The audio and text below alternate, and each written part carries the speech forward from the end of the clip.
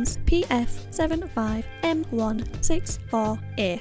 The in-car entertainment system with a 7-inch screen running Android 5.1 Lollipop 64-bit.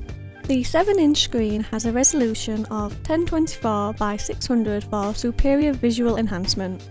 It supports 1080p Super Clear video, OBD2 diagnosis, screen mirroring, and dual CANbus.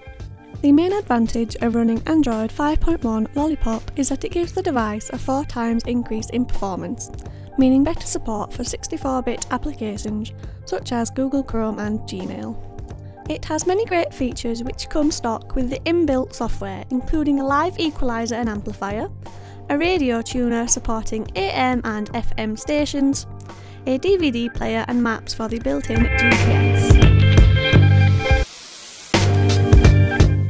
Inside the box you will find the stereo system itself, alongside one ISO wiring harness, one USB cable, one 3G USB cable, one 305cm audio adapter cable, one GPS antenna, one 410cm audio adapter cable, one CANbus box, one radio antenna, two RCA cables, one microphone cable and the user manual.